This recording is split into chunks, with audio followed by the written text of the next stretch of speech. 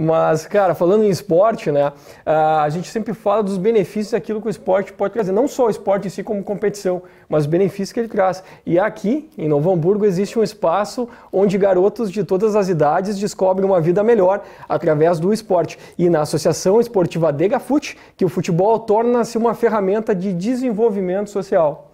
Uma bola de futebol é só disso que os garotos de uma comunidade carente de Novo Hamburgo precisam para seguir em frente. Cuidado! A paixão pelo futebol e a vontade de criar para os garotos de comunidades carentes um futuro melhor através do esporte fez um time de futebol nascer. A história da Associação Esportiva Degafute iniciou em 1999. De lá para cá se passaram muitos anos e a bola continua sendo ponto de partida para o desenvolvimento social de jovens através do esporte. A gente fica muito orgulhoso quando a gente vê algum deles aparecendo na televisão esse ano mesmo começou três goleiros na Série A do Campeonato Gaúcho que começaram aqui. Então a gente vê eles dando entrevista na televisão, para nós é um orgulho que, vamos dizer, sete, oito anos atrás, eles estavam aqui treinando com essa gurizada. E hoje estão ali defendendo a camisa de Novo Hamburgo, a Imoré e o Glória de Vacaria. Então para nós é um orgulho muito grande. Antes de ser uma escolinha de futebol, a Dagafute é, antes de tudo, uma família. Ao entrarem no campo, os atletas da associação saem das ruas para descobrir um novo futuro. O esporte é uma ferramenta social, né? bastante presente na, na vida das pessoas. Né? E talvez eu enxergo ele como uma isca. Talvez se a gente não tivesse o esporte, não poderíamos tirar os meninos, as crianças aqui da, das ruas, né? Porque muitos deles, infelizmente, os pais não têm a condição de estar presentes, tão presentes, e eles acabam ficando pela rua e sujeitos a alguns convites que a gente não gostaria, né? Então o esporte é uma ferramenta que a gente tem, é uma isca para tirar eles da rua e apresentar um bom caminho para eles. Com o pensamento de que o esporte pode transformar a vida de muitos jovens e crianças, dentro da Associação Esportiva Degafute, a Universidade Fevale desenvolve o projeto Esporte e Cidadania. Bom, o, a Degafute é uma das, um dos locais onde a gente faz a, o, o, projeto social. Aqui nós trabalhamos com a parte de, de futebol, que é um dos esportes coletivos do nosso projeto, e nós tentamos trabalhar com o pessoal de, de que, que, está em situação de, de vulnerabilidade social. E, então, é, a partir disso, nós começamos a fazer o nosso, nosso trabalho. Durante as aulas, além de aprender os fundamentos do futebol, como regras, estratégias e movimentação em campo, os atletas também descobrem como viver em sociedade. O aprendizado, aquilo que fica para a vida, é mais importante do que os gols ou as vitórias em campo. Então a gente está buscando a formação de pessoas que vençam na vida, que se coloquem positivamente na sociedade, que contribuam com o desenvolvimento dessa sociedade. Lições que eles levam do treino para a vida. O que é que tu já aprendeu aqui dentro? Só futebol? Não, respeito, responsabilidade, um monte de coisa. Aprendo várias coisas, como brincar, uh, jogar, aprender a jogar, posso também ter um futuro melhor. Por que que tu acha que aqui dentro tu vai construir um futuro melhor para ti? É, porque aqui eu posso aprender várias coisas para depois no futuro ter uma coisa melhor. Tipo, se eu posso ser treinador, jogador de futebol, várias coisas. Os garotos provam que nesse campo a única barreira é a do gol. Eles correm atrás da bola e do sonho, ser jogador de futebol. Tu vai batalhar bastante, vai treinar bastante para chegar lá. Se Deus quiser.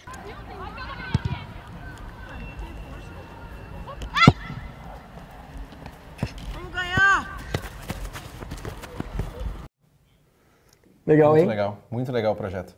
E a gente pode acompanhar você de casa também. Está rolando na programação da TV Fevale desde o, desde o sábado o programa Faça Mais. É a matéria completa falando desse projeto. Fala um pouco mais desse projeto, bem um bacana mais. esse projeto. E agora falando, Chico, de futebol profissional.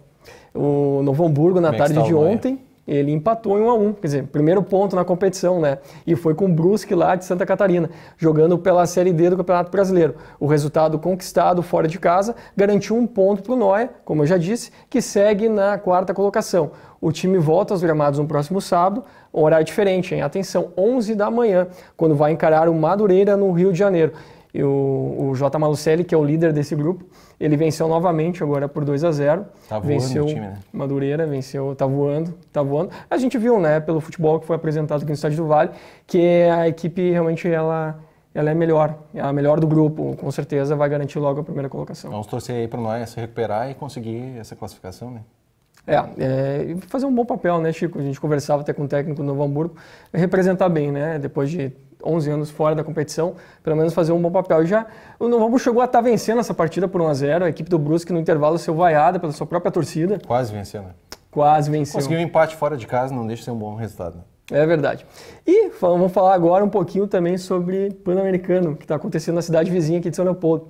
Dedicação, equilíbrio e foco. Essas características são pré-requisitos para quem deseja ter um futuro promissor na patinação.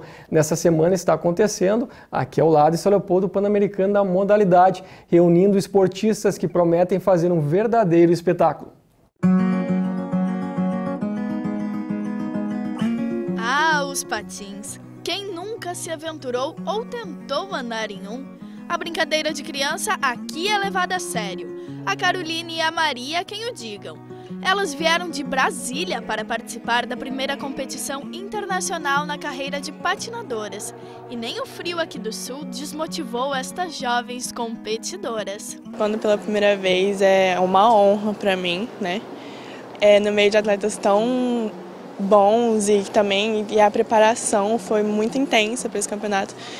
Então espero representar o, o, meu país da melhor maneira possível. Com certeza é uma experiência incrível que eu vou aproveitar muito e que eu me preparei muito para isso e que com certeza eu vou ter um resultado assim merecido e que eu me preparei. Ao todo, são 920 competidores vindos de 12 países diferentes para participar do Pan-Americano de Patinação.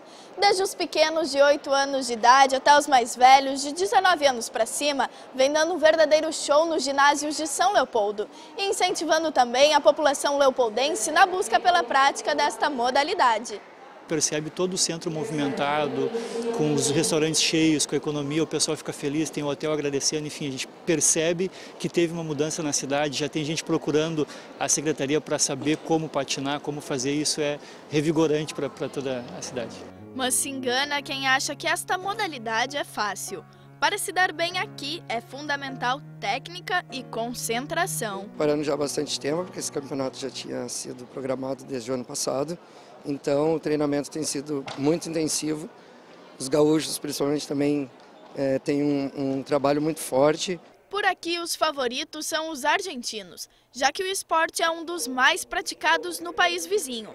Mas a equipe brasileira vem focada para conquistar bons resultados. Todo o Brasil que está aqui, as equipes brasileiras que estão aqui, se prepararam muito bem, sabendo que os argentinos também têm uma certa é, é, como diz, hegemonia no esporte, então são os favoritos, né?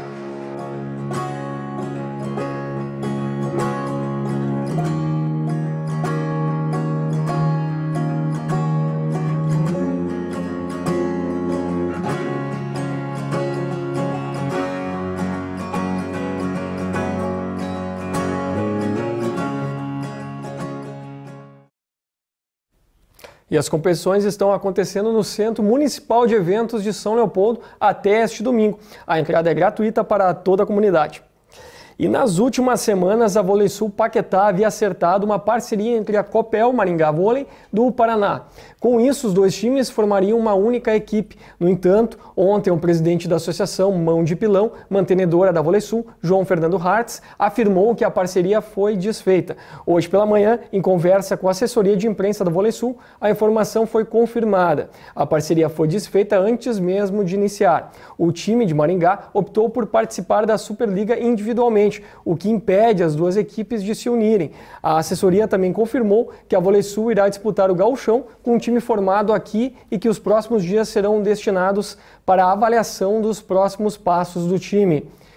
É isso aí, Chico Pereira. Que pena essa história da Vôlei Sul, né? Mas tomara que o time consiga fazer um bom gauchão aí, mesmo sendo meio de improviso, né? De improviso e a gente vê que é meio que uma despedida, porque o contrato termina em outubro e o que a gente está observando é que realmente não será renovado. Vamos acompanhar, a gente dá todas as notícias aqui no Momento Esporte a partir de agora. Vamos continuar acompanhando essa história. Obrigado, Jonas. Até a semana que vem no Momento Esporte.